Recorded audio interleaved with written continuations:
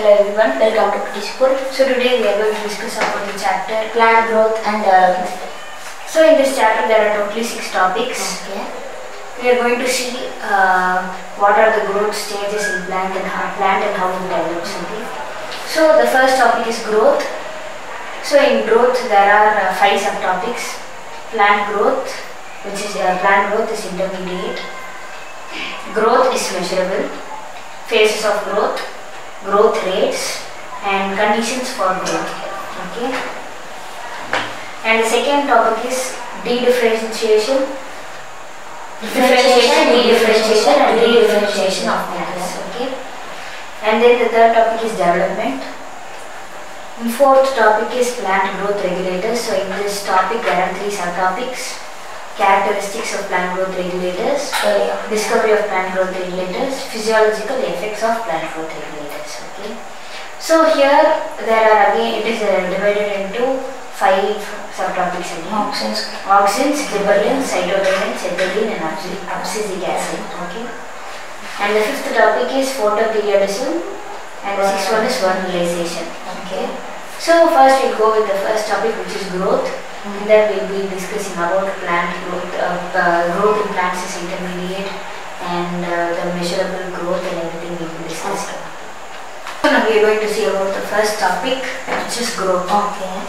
So growth is uh, irreversible permanent increase in size. Hmm. So it cannot uh, It cannot be reversed. yes. And uh, size in size and an organ or parts or a cell these all can grow. Okay.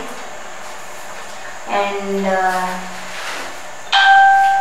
so we are going to see the first subdivision in growth. Plant growth in general, intermediate. Yes, plant growth in general it is intermediate. Okay. So here um, plants in, in case of plants there is unlimited growth Okay. up to its lifetime. These plants always divide these cells, always divide their cells and they will be growing continuously up till their lifetime. Okay. So in plants especially unlimited growth throughout its life. Okay because of the presence of meristems in particular regions in plants. Okay, so these meristems have capacity to divide unlimitedly. Okay. Okay, so therefore these meristems continuously divide. So since these meristems have the capacity to divide continuously, they form new cells continuously. Okay, so therefore the new cells continuously formed by these meristems. So this type kind of growth is called Primary and open- secondary open form of growth. Okay, since it is continuously forming new cells, it is known as open form of growth. So now what is primary growth and what is secondary growth? Primary is when the seed gets into the small plant. Yes. The secondary growth when it's So what is primary and secondary growth? Primary growth. Uh, it's when the seed grows to the small plant. When the when seed it starts to grow, they will be having root apical meristem and root apical meristem and everything. So that leads to primary growth. And secondary growth is because of the lateral meristem like vascular cilium, fascicular vascular cilium. When surface areas gets larger and larger. Yeah, the- when the lateral areas get uh, larger, it is known as secondary growth. Okay. So this is uh, growth. Okay, in general plant growth, uh, it is intermediate in general. Okay. So next we are going to see growth is measurable. Okay. So we can measure the growth in plants. Okay. It is measured by increase in fresh and the dry weight. So what is fresh and dry weight? Fresh weight is nothing but uh, with the water content, how the how much the plant weighs The dry weight is the without the water content, okay? And the length, length, area, volume and number of cells it is measured, okay? The growth of length, the growth of area, Yeah. the growth of volume. Each one uh, is for, it varies with uh, different parts of plant, okay? So for example, if you take one maize, root apical meristem, okay? One, one maize root apical, one plant, one maize plant's root apical meristem can divide up to, can give up to 17,500 cells per hour. So this is uh, measured by the number of cells. This is a measure of number of cells, okay? Like this, And this one cells of watermelon can increase in size up to 3 lakh 50,000 times. Okay. So this one is increase in fresh weight. because water, watermelon have lots of uh, water, water content in them. So this one is increasing fresh weight. It is This measured in increase in dry weight. This is increase in cell number. So each one differs with the, uh, each plant. Ah. Okay. So if you take a pollen tube, it is measured in length. And if you take increase in surface area, uh, a leaf, le- if you take a leaf, it is measured in uh, surface area. If you take branches, then also it uh, measured with the surface area. Okay. So the uh, these are uh, the measuring how to measure growth in plants. Okay. So next we will see the phases of growth. Subtopic under uh, growth. Third. Under growth, we are going to see the next subtopic, which is phases of growth. So in phases of growth, uh, we are going to see general things. So here, um, in phases of growth, the period of growth, okay, is generally divided into three: meristematic period, elongation period, and maturation period. So these three periods are well seen in the root tips. Okay. Okay. So, for example, if you take the root apical meristem, it is meristematic, it continues continuously divides. And the proximal, the cells which are upper to the root apical meristem, they have elongation phase. And further away from the elongation phase, which is proximal to elongation, it is known as maturation phase. So, these three phases we have already studied in the anatomy of flowering plants. In that also we see the three regions of these roots, elongation, maturation, Yeah. and meristematic region of roots. So here that we studied about the cell kinds of everything. So in meristematic the cells were uh, cells had a large number of pro- protoplastic continuously divided everything. So in each uh, meristematic and elongation and maturation regions, the cells, uh, the morphology of cells differs, like uh, amount of protoplast, the walls and everything. Yeah, So these all these all we saw in the uh, anatomy in flowering plants in that chapter itself we saw. Okay, so these uh, are period of growth. Okay. Okay. So next stage is that uh, next subtopic we are going to see about growth rates. So this growth rate is nothing but now increased growth per unit time. So how much uh, growth is increased per unit time is grow- known as growth rate. Okay. So here growth is of two kinds. First one is arith- arithmetic growth and then geometrical growth. Okay. So in arithmetic growth, uh, if you take two cells, you know, two cells are here. One cell continuously divides and the other cell remains same. For example, if you take here two cells are there.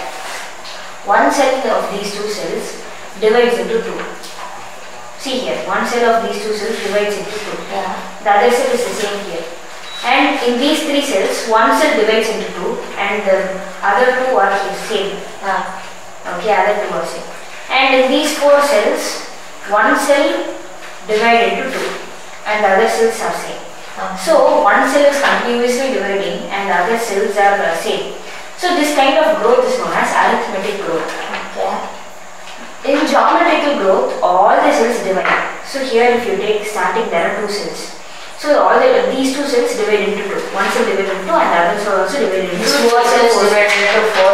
Uh, Four eight cells. eight. Eight divided into. Yeah, so all the cells are dividing. So this type of growth is called as geometrical growth. Okay, so both we have seen arithmetic and geometrical. In this, uh, except one, everything will grow like the same.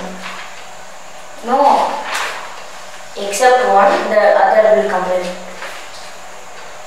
only one cell divides, others are same.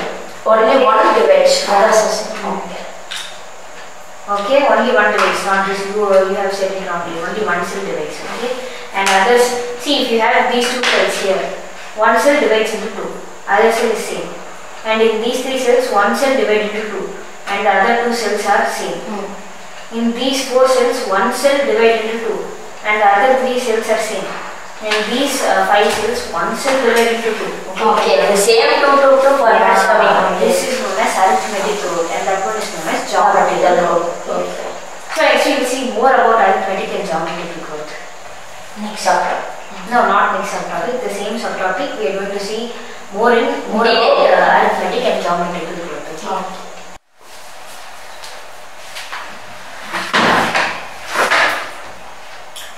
So in growth rates, already we have seen there are two, uh, two types of growth rate, two types of uh, growth, which is arithmetic growth. Only one cell divides and other cells remain same. Geometric growth, all cells divide into two.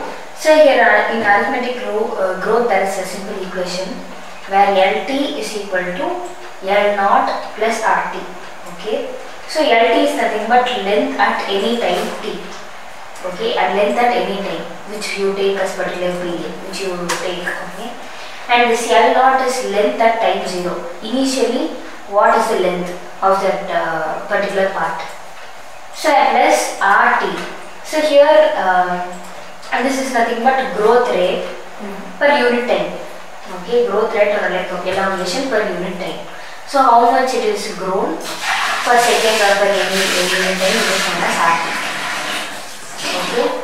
So this is the equation uh, to find arithmetic growth. Okay. So this is the graph representing this arithmetic growth which is, which is a straight line. Okay. So it continuously grows. This is the time and height of the plant. So it continuously grows in arithmetic growth. Okay. So next you are going to see geometric growth. So in geometric growth also we have a simple equation to represent this geometric growth. So the, here W1 is equal to W0 e to the power RT. Okay. So here W1 is equal to final size. It is a final size what you, uh, it is the size at time t. What is, what is the size finally? At the time, what is the size? Finally what is the size? Okay. And W0 is the initial size. Okay. At the starting, at the beginning of the period, what is the size of the plant? That one is W0. And E is nothing but the base of the natural uh, logarithm. Okay and e to the power r t is r is nothing but growth rate and t is the time of growth okay? So by substituting all these uh, values we can uh, predict geometric growth okay? So this is the geometric growth curve okay? So uh, these have three phases. These geometric growth have three phases. First one is lag or lag phase okay? Lag or initial phase and then yeah lag means it takes uh, slow time uh, it takes time to become big okay? So then the middle one is exponential phase.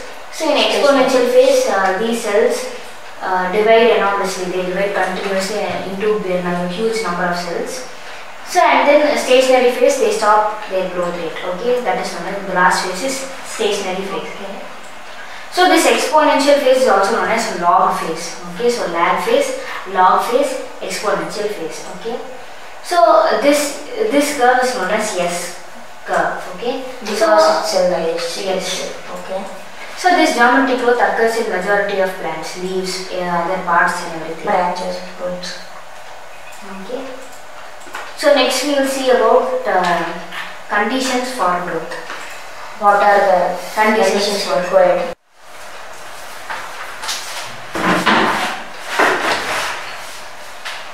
so in growth we are going to see the last subtopic so which is conditions for growth Okay. The required conditions to grow. Yeah. Okay. So what are the conditions for growth in plants generally?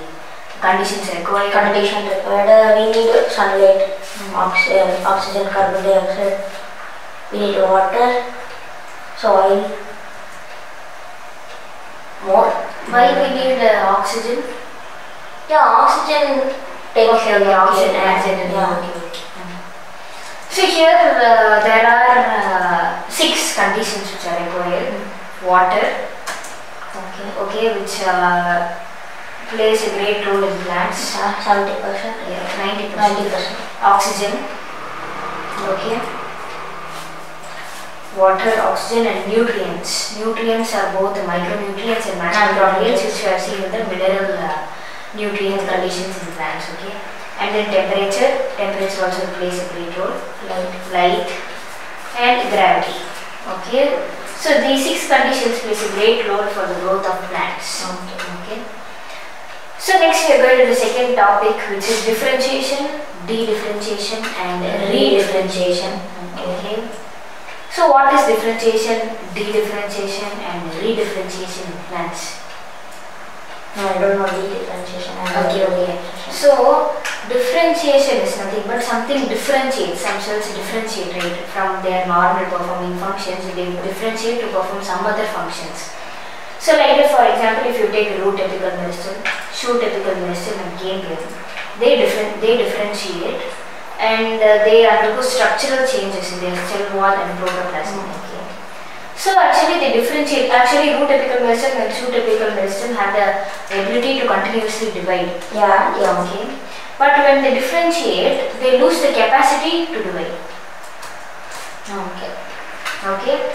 So these cells which lose some cells or tissues which lose the capacity to divide are known as different. It is known as differentiation. Differentiation. Okay, differentiate. Uh, they, they, this is known as differentiation. That is, the cells or tissues which are already dividing, but after uh, some time they lose the capacity to divide. It is known as differentiation. Okay. So the same cells, the same tissues, okay, after they lose the capacity to divide, they again regain the capacity Hmm. to divide. Okay. So first they are dividing, then they are losing which is known as differentiation. Then they are gaining the capacity to divide that is known as de-differentiation. Differentiation. Okay. That is known as de-differentiation. For example, formation of interfascicular and cork cambium in the lateral uh, sides from fully differentiated parenchyma cells. These parenchyma cells were started firstly dividing and then they differentiated and they did not divide. So after that they de-differentiate and form interfascicular cambium and cork cambium. Okay. So this is known as de-differentiation. So what is de-differentiation? Yes.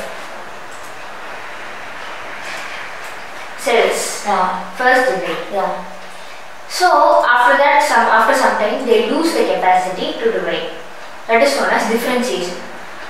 After losing the capacity, They- they again gain the capacity, to yeah, yeah. divide. So that is known as de-differentiation. Okay. And after de-differentiation, now, now in de-differentiation, now they gain the capacity to divide. Again, if they lose the capacity to divide, that is known as re-differentiation. Mm-hmm. So re is nothing but something which is occurring again. D is nothing but something which is going, Going back. Okay. Can you Yeah, yeah, yeah, yeah, yeah. So these cells again lose the capacity to divide or known as re-differentiation. Re-differentiation. So differentiation again it is doing so it is re-differentiation. Okay. So these are the differentiation, de-differentiation and re-differentiation in plants. Okay. So tissues of the tissues they differentiate, de-differentiate and re-differentiate. Some tissues do that, but some do not. Okay. So next we will go to the next topic which is development in plants. Okay.